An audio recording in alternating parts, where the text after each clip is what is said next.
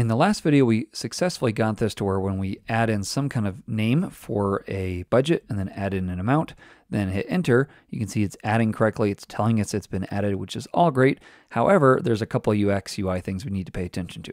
First of all, you can see here that it's not clearing the form. And then secondly, usually you'd be submitting to some kind of database, in which case you'd want this to go disabled and then probably show some other message like submitting or whatever. So those are kind of a couple things we can pay attention to. We're going to kind of do these in a couple different stages. To start with, though, we need to find some kind of way of tracking the state of this submitted form. And the nice thing is the React Router DOM gives us that. It gives us with that gives us that with something called use fetcher.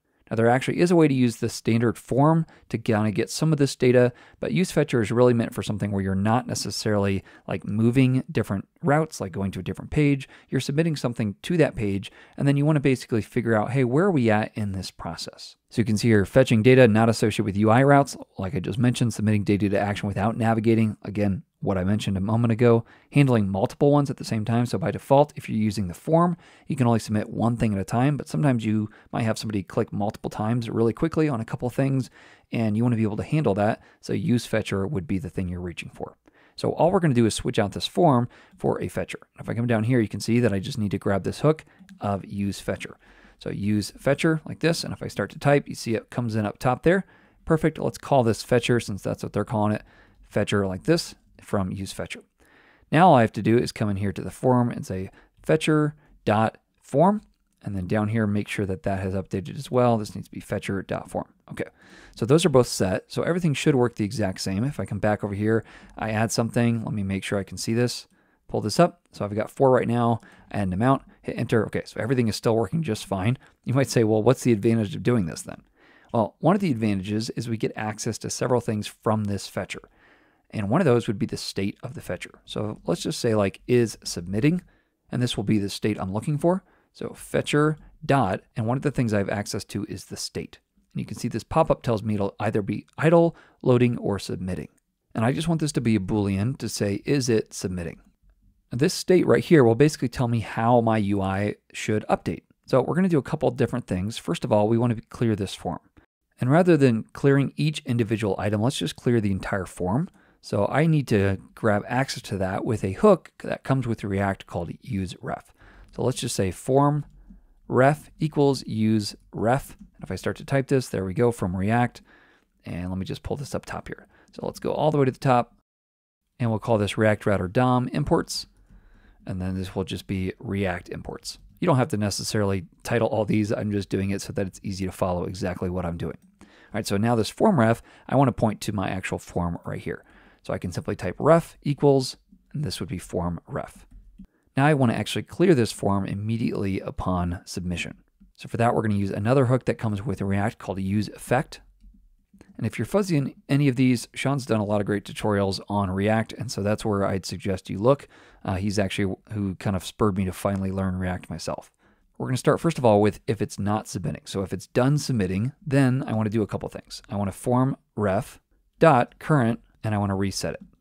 And this use effect hook needs to take in an array of dependencies. So when should it run? It'll run first of all upon mounting and then anytime is submitting changes.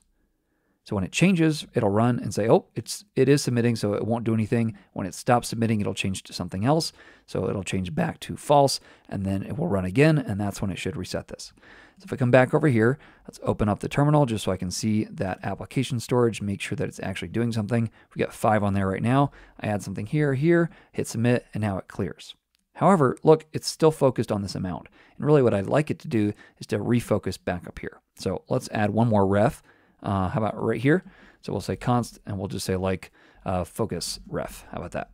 For use ref. And this focus ref right here, I want to attach to this input. So we'll say ref equals focus ref. And now what I want to do is after I've reset it, I then want to grab the focus ref dot current dot focus. So I'm telling JavaScript, hey, focus on that input. So if I come back here, I add something in, hit enter, now it clears it and it refocuses it up here. Cool. Now there's another part we talked about, and that is how do we show this as disabled? Well, we've already got this state right here is submitting. Why don't we just use that on the button down below? I can pass in disabled and just say if is submitting is true, then go ahead and show this as disabled. So once more, I come in here, add this, add this. is going to be real quick. You ready for this? Okay, you can't even see it. All right, that's how quick it is. We're to have to do some stuff to change that because we're going to local storage. There's no time. It doesn't wait for anything. So you're really never going to see this unless I show you it uh, by kind of manually delaying it. So why don't we go ahead and do that? I'm just going to my helpers file over here and I'm going to add one more function. So this will be like color or whatever. Um, this one up top here will just be a little kind of pretend function to slow stuff down. So we'll say export const. We'll say wait. I think this is from Wes Bos. He always did this. Um, and then what, what I'm going to do is new promise. And I want to resolve this after a certain time. So set timeout We'll resolve after math dot random and then we'll just say something like times 800. So each time from anywhere from 0 milliseconds to 800 milliseconds, it will pass back a promise, but we'll have that little time to wait, essentially like on a fake database. Now I need to actually write this uh, function correctly. All right, there we go. So now we've got this wait. Let's go ahead and go back to our dashboard file. And what I want to do is on the action itself, I'm just going to wait for a second before I do anything else. So this is already an async function. Now I can just await and I'm going to await my wait function right here that I'll pull in. All right, so let's just double check. Yeah, there it is. So it pulls in. So now it should randomly wait a certain amount of time. And maybe just to make it real obvious, let's change this to something like 2,000, not 20,000. All right, 2,000. So now if I come in here and add this, it should be disabled. And you can see it gets disabled. And then after a certain amount of time, it will then show it.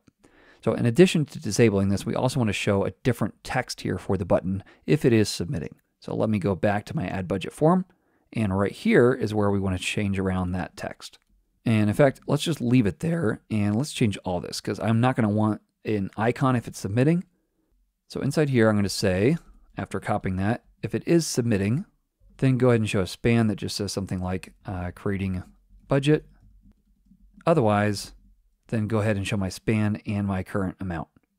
Now, because this is JSX and I don't have a single parent element, I actually have to create this inside of a fragment. So I can just do it like this. And now it should be happy with this. Okay, so I'll come back here. We'll add this in. Now it says creating budget. Or I guess we could say like submitting. Submitting, something like that. Let's do that instead.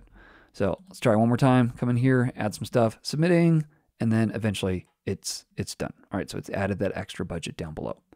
So great, so we've got some UX, UI things. It's clearing the form, it's reselecting this for us. We're getting this nice disabled so we can't re-click the button. And in addition to that, we're giving the user some feedback.